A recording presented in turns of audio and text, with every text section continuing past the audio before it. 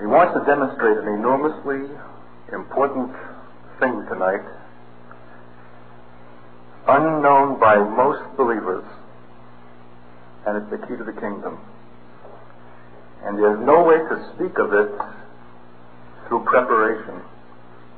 Because if you come prepared to speak of it, you're contradicting the very thing that God is about. It's a little four letter word, L I F E, life. The alternative to life is religion. And you would be amazed at the number of Christians who are living Judaic lives. And Judaism would be tremendous, awe-inspiring and compelling and impressive if it were not for the fact that God has given a better alternative, a greater covenant, a new covenant based on his life. But the tragedy is for God to have given it at great price and for people to call themselves by the name of that covenant and yet to be living in the other. How many people are mystified already? You're not? Well, if that's the way you're going to be, I'm going to take off my jacket. I'm going to continue. Let's pray together, okay? Precious Holy God, Lord, we ask that tonight you would set forth in such a glorious way what is your great gift to men and what it is to which we're called and how it is that we might appropriate it, Lord, move in it and demonstrate it and set it forth. Thank you, Lord, that it pleases you to express this through a piece of clay and dust. And if there's anybody in this room who thinks, Lord, that that introduction, that talk about not being prepared was a device, set them straight. And through the awkwardness, Lord God, of putting this together, show yourself forth. Mighty God, smite our hearts with the glory of the new covenant way, and forever ruin us for anything less. And we'll thank you and praise you, precious God, that you, that you have offered to us the great tree of life. Speak from it tonight. Demonstrate it tonight. Be it tonight. And in these days, and we'll thank you and praise you for this now, in Yeshua's holy name. Amen. Well, I want to, I think I want to start from the end and then go back to the beginning. Chapter 22 of the book of Revelation. Chapter 22, first verse, book of Revelation. I'm reading from the Amplified Edition. Then he showed me the river whose waters give life, sparkling like crystal, flowing out from the throne of God and of the Lamb.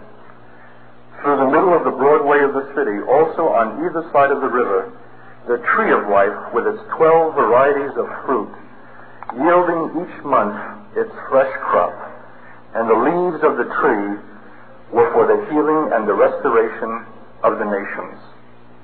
14th verse, blessed, happy, and to be envied are those who cleanse their garments that they may have the authority and right to the tree of life to enter in through the gates to the city. Now to the book of Genesis and the first mention of that same tree.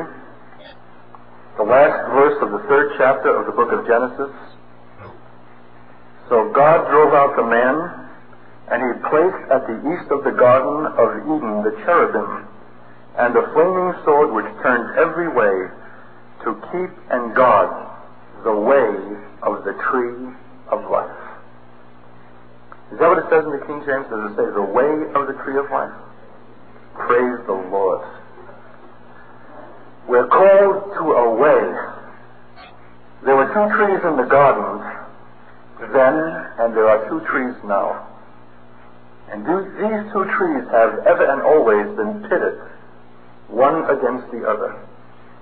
One is comely, attractive, beguiling, you remember what the woman said? She saw that the tree was good and pleasant for food, that it was delightful to look at, and a tree to be desired to make one wise. the tree of the knowledge of good and evil is always powerfully seductive and attractive. How'd you like to live without knowing? Excuse me just for thrusting that in right there. But think back in recent hours, days, and weeks how much the word knowledge or knowing has punctuated your speech and your prayers. If you would only know what God was about, if you only knew what His will was, if you only understood what He wanted you to do, if you could only understand the circumstances, then you would be quick to obey it. Well, of course. There's nothing to that. I remember I came to an informal Bible study one night, and the guy gave a terrific talk on obeying the will of God. That when God shows you His will, that we ought to be quick to do it. And something was percolating in my spirit as he spoke, and I said, Lord, I'm just a guest. I'll keep my mouth shut, except that someone actually bid me to speak. And sure enough, at the end, I was bidden to speak. And I said in my fresh, saucy Jewish way, I appreciated the talk tonight, and of course it's good to obey the will of God when He shows it. But I want to say that at the end of the age, the paralyzing predicament and the demanding thing for the children of God will be to obey without knowing.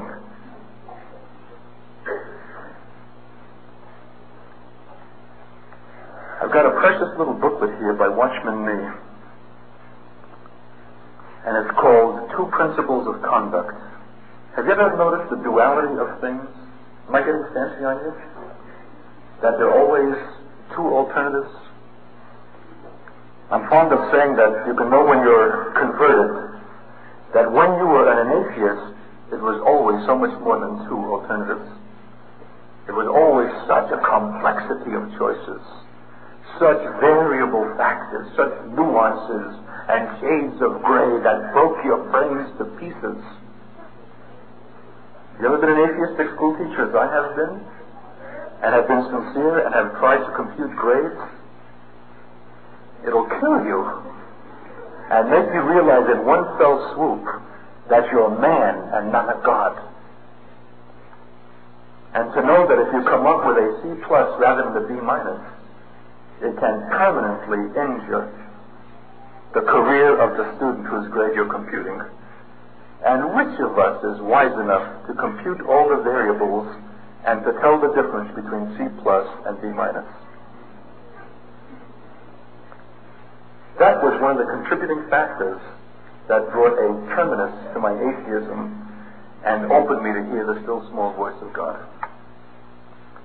Now, once converted, you know what I found out? There aren't so many variable factors.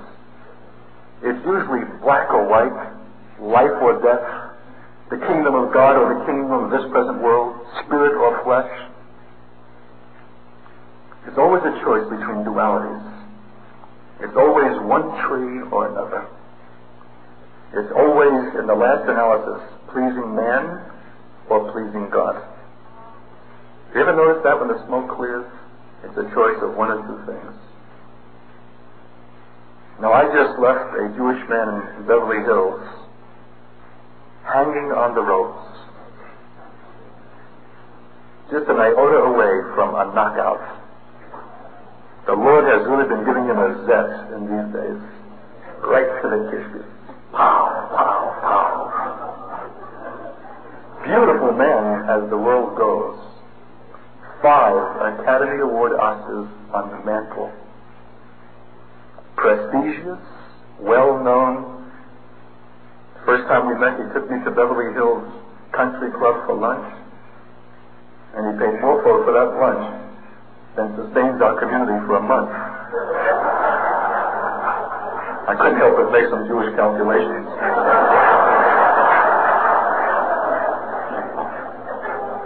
and they bowed and they scraped, yes sir, no sir, and men would look across the room and they would give knowing nods to each other.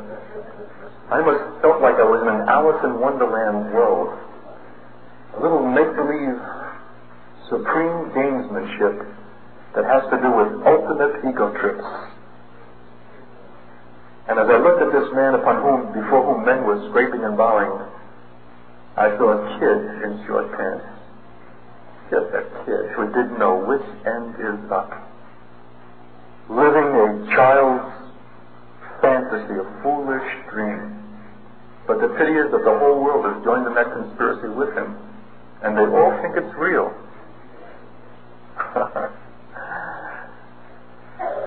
well, we, God gave me a second chance at him in these recent days. I've just come up from there today. I, I can't even sum up the events. But God has just been progressively taking the ground out from under his feet. And he has only a wisp of ground that he's, he's ready to sag at any moment. We had an early breakfast this morning in which he made a last brave resolution, in which he complimented me and wished that he could be as I was, but, and he expressed his last intellectual re- reservations, and I just looked at him wistfully and sadly, and went up to my room to complete my packing and thought that was the end. But no, he came in yet again. Because I had made one last crack. He's working on a great musical piece. And I said, I think you're afraid that if you come to the Lord, that He's not going to let you finish it. And you want to make one last heroic statement of resounding artistry. And he came back to see me as I was finishing the packing, and that remark stung. He said, I cried out to God, is that true? And, and he said, I think God was saying, yes, it's true.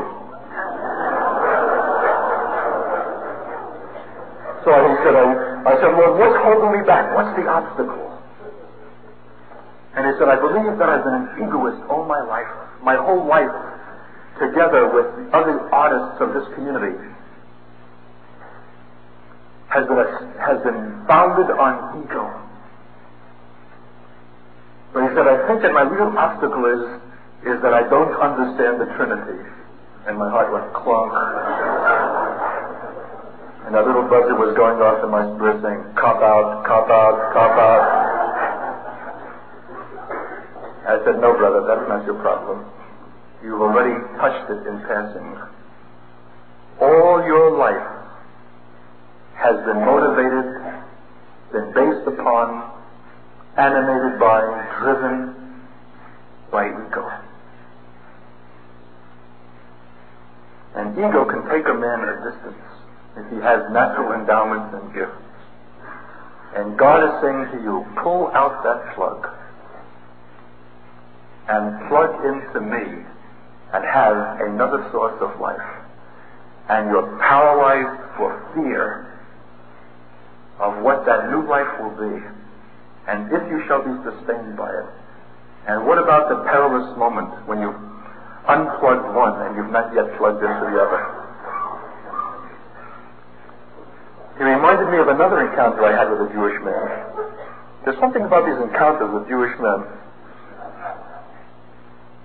Not because it's an ethnic oddity, it's because Jews are so deeply established in the spirit of the world. They have shaped it. So when God puts his finger in the chest of one of these men, He's touching the well springs of a whole world established on another principle. And I remember this other encounter with this Jewish man who had come to the Lord, and we were sitting at his kitchen table. He had a stable of his own horses, several kinds of businesses and homes and properties and wealth, and he was picking it off one after the other. Like me, he had his origins in Brooklyn. He knew what the depression years were. He had struggled and had lifted himself, himself up by his own bootstraps, by his own heroic exertion. And now he had made it. And he was saying, I'm ready to give God my horses. I'll give God my racing stable. I'll give God my businesses, my house. And he went right on down the list. And all of a sudden I heard myself saying, Will you give God also your compulsive, I forgot how I expressed it, drive to succeed? Will you, will you give him that competitive spirit? And guess what happened? He freaked out and could not do it. He was ready to give the things which his competitive spirit had obtained, but he wasn't ready to yield the spirit by which they were obtained. Because I know him. He could give his horses and his stables and his businesses, but it given that spirit, given that drive, given that competitive urgency, it'll only be a matter of time before he'll be able to obtain them again. In a word, children, he was unwilling to give up the root of his life.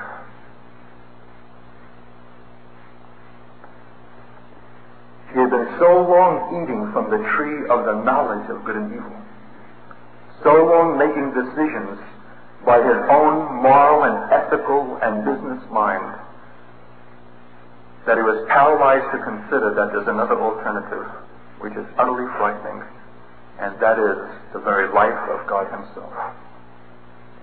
Well, how would you like to have your life founded on that other principle? It's great when that life moves it's great when it stirs. It's great when that spirit broods. It's great when he gives utterance and speaking. But what about the times when he chooses to be silent and leaves you with an embarrassed and hotly flushed face? What does it say in Colossians? Let me find it. If you then be risen with Christ, seek those things which are above where Christ sitteth on the right hand of God. Set your affection on things above, not on things on the earth. And here it comes.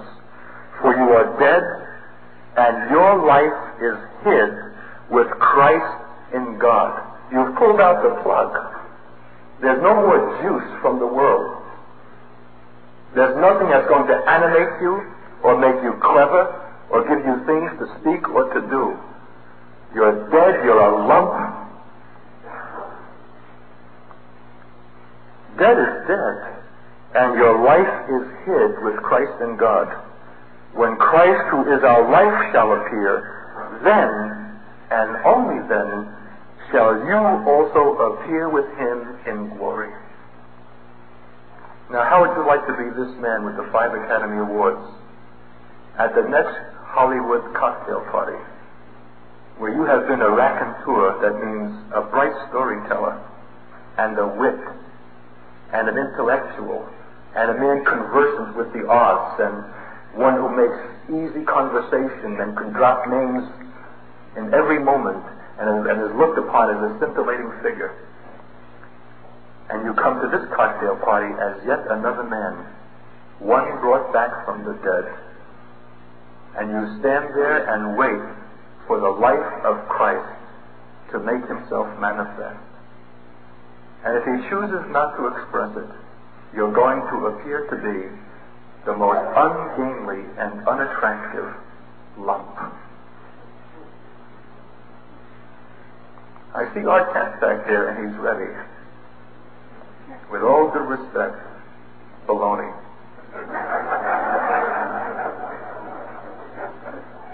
he's never ready.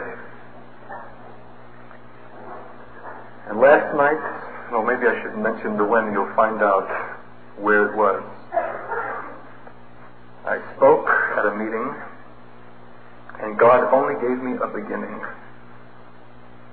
And I was faithful to speak that much, and then just continued to give a mouth to what would follow. And it proved to be displeasing and irritating to the pastor and leaders of the place where I spoke. So much so that they called me into their office afterwards to exhort me and to rebuke me for injuring the flock and speaking things that ought not to be spoken to young believers. And I don't know how I was supposed to know that I'm speaking before young believers. And my only frail defense in this barrage of four men coming on strong with great years of experience was that I believed God and believed that I had given him a mouth for his own speaking, however foolish. I wonder if you understand what God is talking about tonight. And I can't think of a more appropriate beginning for a series of talks in the days that celebrate the resurrection of Christ than what it has pleased God to begin this night.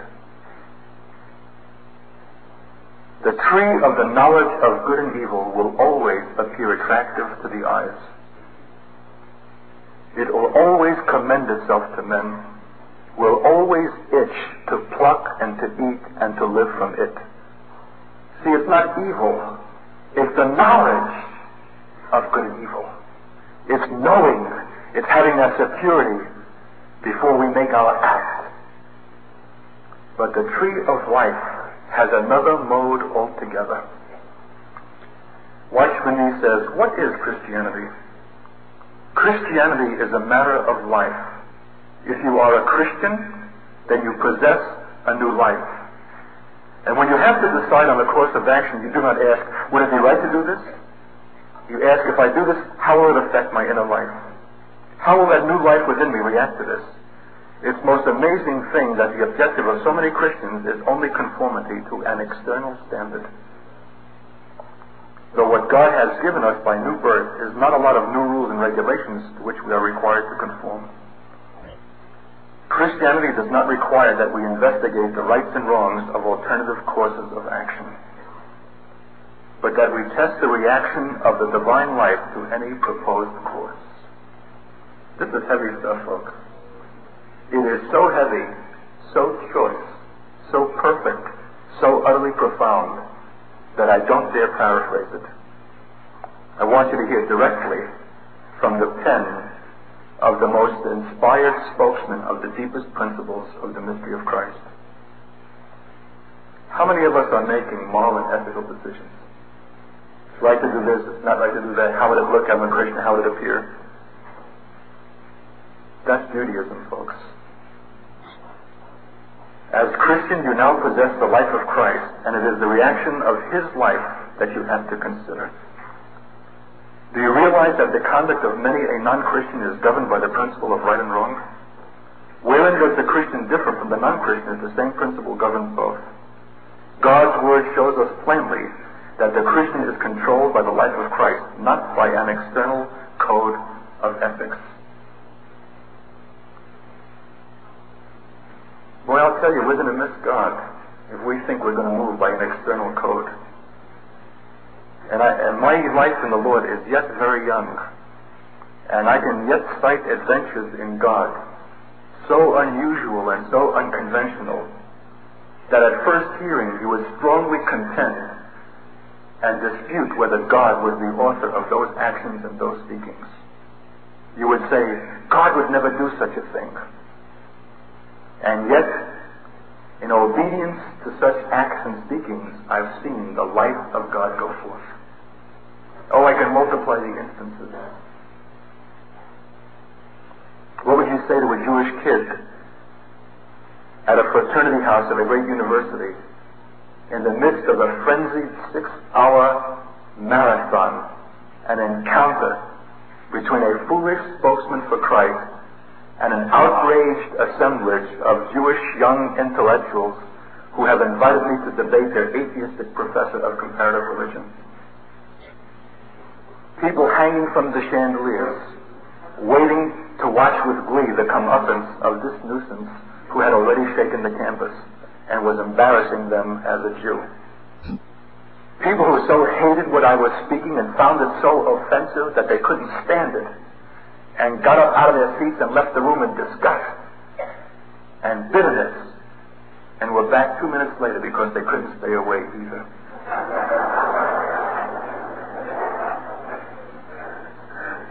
What did Jesus say? Those who love the truth will hear my voice. Oh, it'll drive us to a fury. But what are you going to do when you're Jewish? About 10 o'clock at night, this had gone on now for four hours, one of these students got out of his seat and began to approach me with his fist clenched and his knuckles white, and spittle at the corners of his mouth and his eyes ablaze, and he was trembling like a leaf. I thought, uh-uh, this is it. And he stood nose to nose with me. Can you picture this? Everybody stopped breathing, including me. And he said with great rage, Okay, Katz, if your God can do what you say that he can, I defy him to save me now. And I was looking around for my four spiritual laws.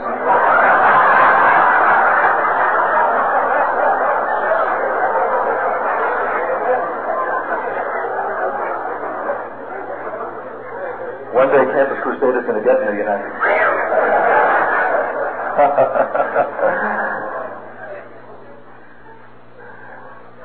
I'll tell you, children, in such a moment as that, when 2,000 years of bitterness and frenzy and misunderstanding and satanic distortion have come to a boil. No amount of clever speaking or four spiritual laws or 40 will answer to the moment. You know what we need in that moment? Something of that fruit from the tree of life that is fresh and new in its season. And I open my mouth, if you want to see something pathetic, stupefied, dumbfounded, terrified, sensing that the whole night had come to a climax in this one moment and, and something was going to have to happen and something will have to be spoken and I'm not clever enough to meet it and I was exhausted and spent and can't even remember my own name. And out of that nothingness and emptiness and barrenness and futility, when life and death was hanging in the balance, God took a great Turkish towel and dipped it in icy water. Dipped it, he saturated it. And brought it up sopping wet and twisted it and made of it a bludgeon. And as I opened my mouth, he gave that kiss such a zetz in the puss with my statement, or was it his? You need not think that you can receive anything from God. Your spirit stinks is that what they taught you, Katz, in Jewish evangelism? That's the point, children. Nothing that we have been taught, no principle, no knowledge is going to suffice in moments of life and death. Only one thing His life, His tree, His pure waters of life, giving its fruit in that season.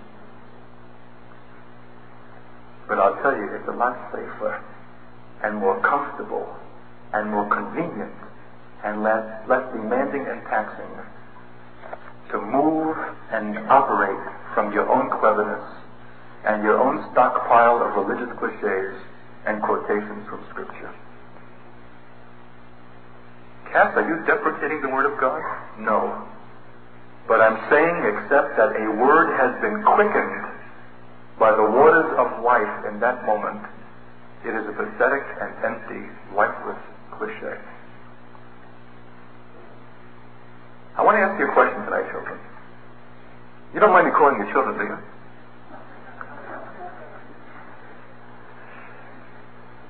I better explain it because I'm just going to be saying it all through these days. Not because I'm a hot shot or I'm looking down from some lofty Olympian height but I believe that it is an expression of the very thing that I'm speaking. I believe in my simpli- simplicity and naivety that the one who is speaking to you tonight is the resurrected Christ. How do you like them apples, as my wife says? I believe that. But you say, Art, it sounds suspiciously like you. Are you trying to say that Jesus had a Brooklyn accent?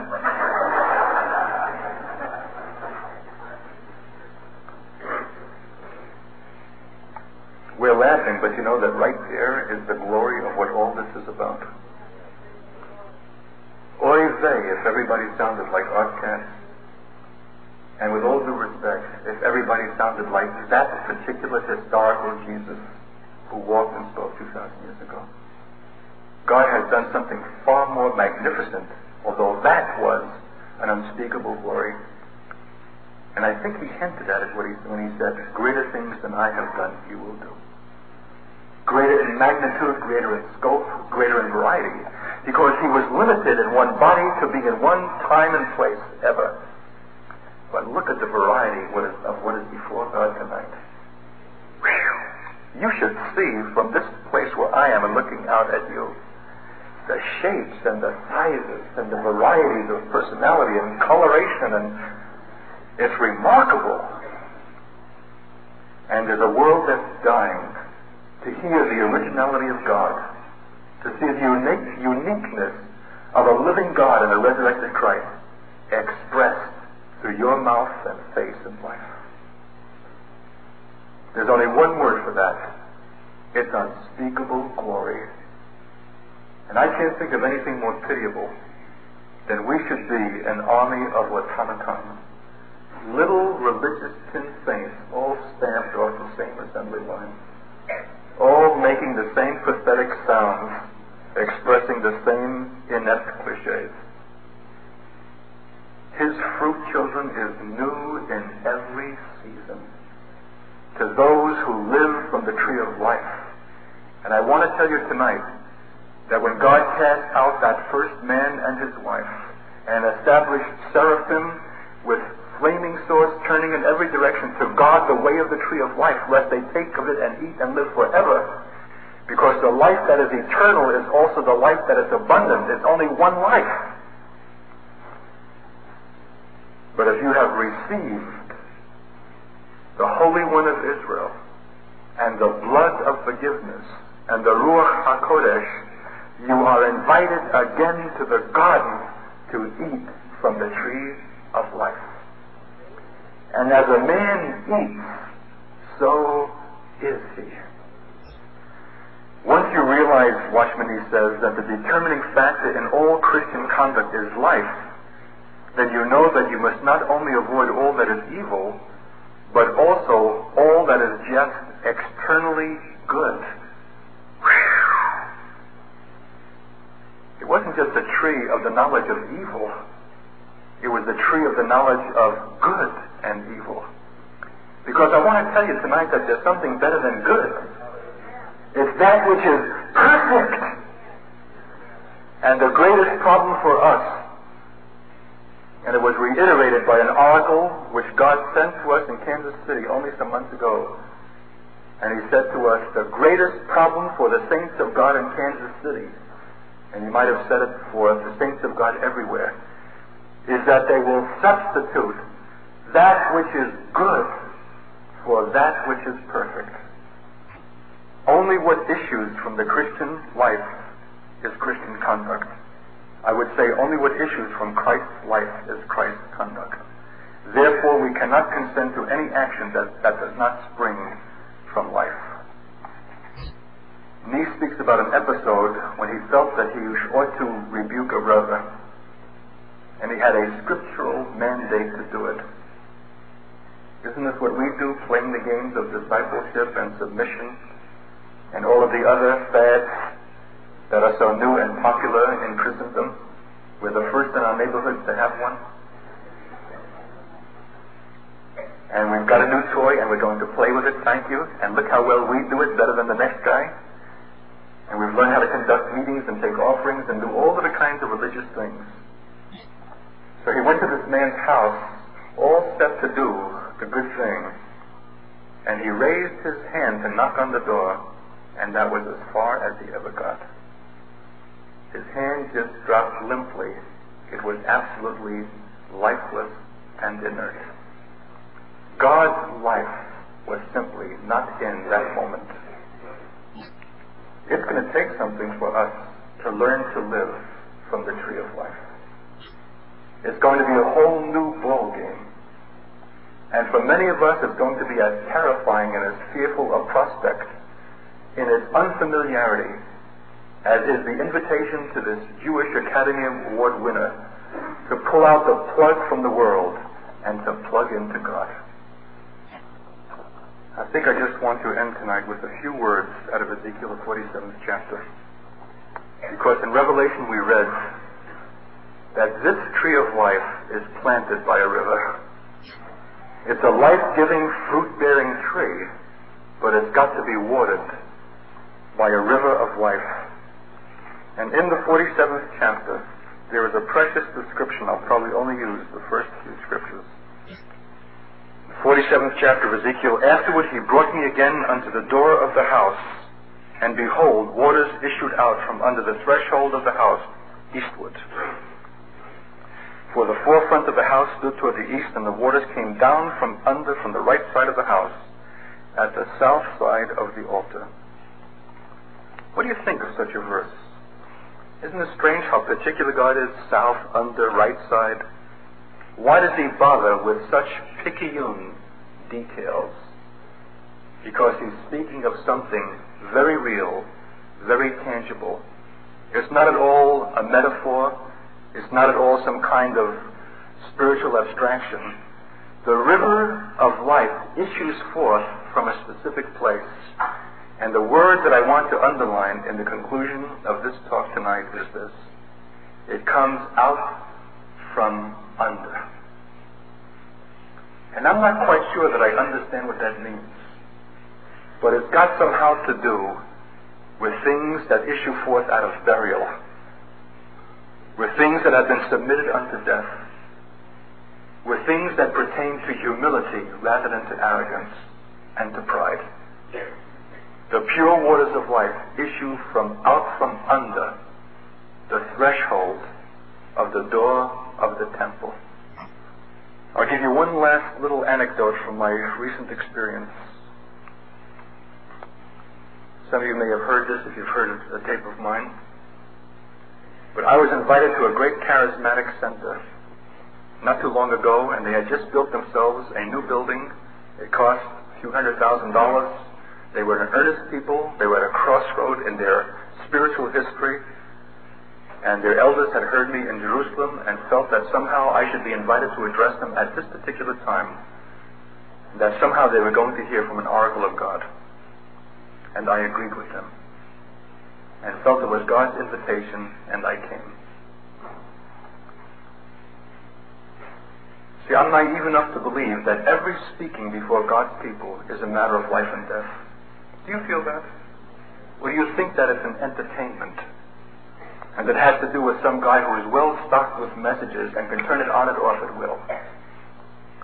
I'll tell you, it would have been a lot easier tonight to come prepared and to give you a standard message that would have sent you with your tongue clucking and admiring what a great guy I am. But obedience to God unto death is the willingness to come unprepared with the risk that your fragile reputation is going to be destroyed and people will cluck their tongue, but not with admiration, but maybe with contempt. Are you willing to suffer that? That's what it means about coming from under the door of the temple. Well, I came to that community and they had put me in a hotel room and I went down on my face on that floor and prayed God. And I reminded the Lord how earnest this engagement was. How significant was this fellowship and this crossroad in their life. And that I indeed wanted to be a mouthpiece for the Lord in those days.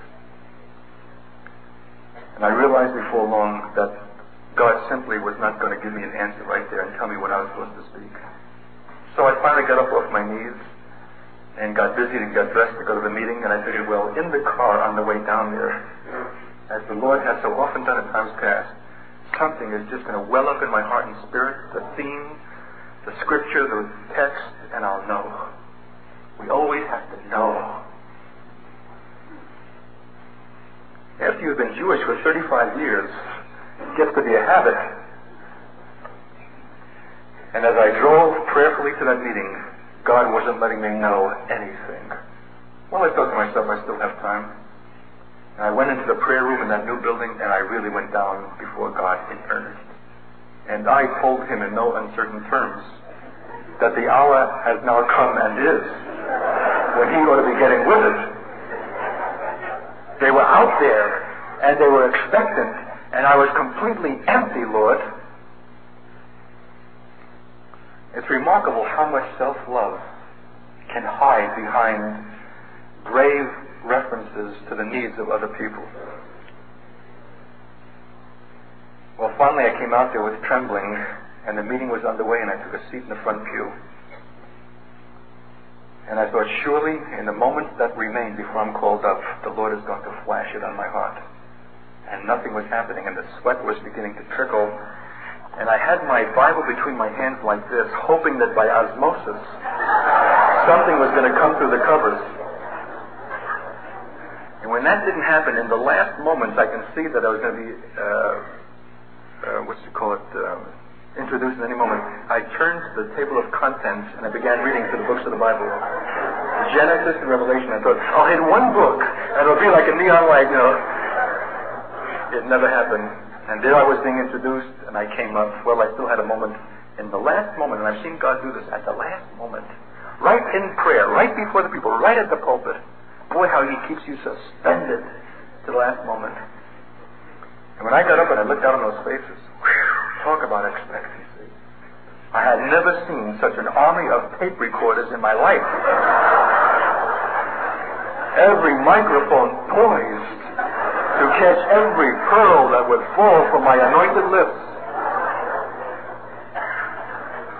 And I bowed my head and I really prayed. And I made it quite clear that this is it. The hour has struck. And when I lifted my head, I knew with complete certainty that I didn't have the vaguest notion of what God wanted to perform. Talk about zero. Talk about empty. And you know what happened in that moment? My head was flooded with a hundred juicy messages that I'd given in times past. Hey, Art, why don't you see that Acts 16? And how about this one? And how about that one? That they were left in the aisles when you spoke that over in Oshkosh. I had a real itch to speak something that was good, that would have satisfied everybody in the house, but it only would have disappointed one him with whom I have to do. Oh, dear children. You understand what Elijah meant when he said, As my Lord liveth, before whom I stand. Do you understand that the Levites were not consecrated for their priestly service until the day when Moses said, Who is on the Lord's side? And Jewish men had to buckle on their swords and go in and out of the camp, and every man slay his father and his brother and his friend who had disobeyed God. And the Lord said, In this day I have, I have consecrated the Levites unto my service. I thought of a thousand things that would be good and man pleasing, messages that God Himself had given, but I could not speak one. And finally, I had to say to this people, I'm sorry, folks, but I have nothing to say. In that moment, as I looked on their disappointed faces, I realized Give me an angry mob of rabbis any day, but save me from the disappointed faces of God's people. You know what their faces said? What do you mean, Katz? Ain't you prayed up? Got secret sin in your life? Don't you have a fair? Don't you take these things seriously? What do you mean you have nothing to say? and I could not answer them a word. You know the song we love to sing about waiting on the Lord? Those that wait upon the Lord. It's a great song, is it? Isn't it? But how do you like to do it? In front of several hundred people who are looking at you with beady eyes. And the moments are ticking away like veritable eternities. Tick, tick, tick, tick, and the silence is heavier and heavier, and the tension is increasing that you can cut it with a knife. And just when it's coming to the last excruciating moment and it becomes unbearable, some man gets up out of his seat with great tremblings, whom I learned that he had never before ever publicly opened his mouth in the congregation. And he said, Brother Katz, I think I have a scripture. Could this be it? And we all leaned forward to hear. And it was a juicy scripture. But you know what I had to say to this brother? I'm sorry, brother. That's not it. You ever watch a man die before your eyes? And then came the terrible silence again. And at the last excruciating moment, a woman got up at the other side of the room and said, Brother Katz, I have a scripture. Could this be it? And she gave a scripture. Mamma mia. You had to be a fool not to be able to spin off a half dozen sermons on the spot with a scripture that powerful. And I had to say, sorry, that's not it. Now, what would you say, folks, if I said that God had inspired both those people to suggest those scriptures, but that we were not to act on either of them?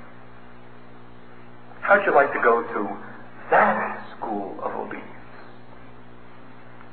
And finally, in the ashes of terrible suffering and death, see, death wouldn't be so bad if you were just obliterated. But it's remaining there that hurts. Somewhere something broke forth in tongues and came in interpretation, and something began to quicken in my spirit, and God gave a word and a direction, and we were off. And it proved to be a night of unspeakable glory. Out of the ashes. You willing to be dead and hid with Christ in God until His life is revealed? Then your life shall be revealed with Him unto glory and not before. Children, we have all sinned and or fallen short of the glory of God. The world is dying from boredom, dying from monotony. It doesn't know what to do with itself. It's freaking out. Its TV programs and its films are becoming grotesque and obscene. Its literature, its entertainment, orgiastic and filthy. We're on a straight line collision course for Sodom and Gomorrah because there is an inexorable pressure in the world to produce some novelty to assuage the boredom of men because they do not know a God who is new in every season. Can you think of anything more pathetic than that which God intended to be a life-giving alternative to death has itself become a weary, gray, dismal, religious thing, punctuated only by a little charismatic frill? We need something more than new choruses and even freedom in the saying of amens and hallelujahs. We need a resurgence of the life of God out of the personalities and mouths of his children, who are the instruments of his speaking and the showing forth of his glory, new in every season, because they eat from the tree of life and are watered from the purest waters of life, the river that flows forth from under the door of the temple. Try it and see. Will you bow your heads with me?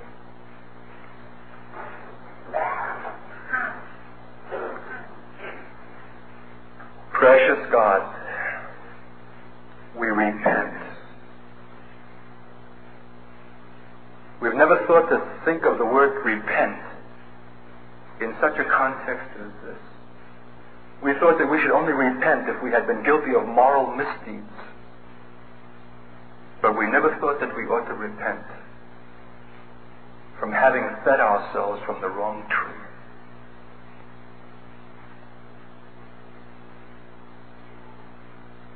Teach us what this means, Lord.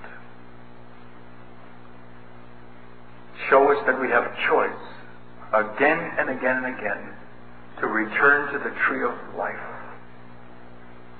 Mighty God, plant us by the waters of life, Lord, deeply. Water us and bring forth from us in the places where you have called us to live our lives and to serve you. Bring forth the originality and the uniqueness, the life giving power, the creativity of a living God.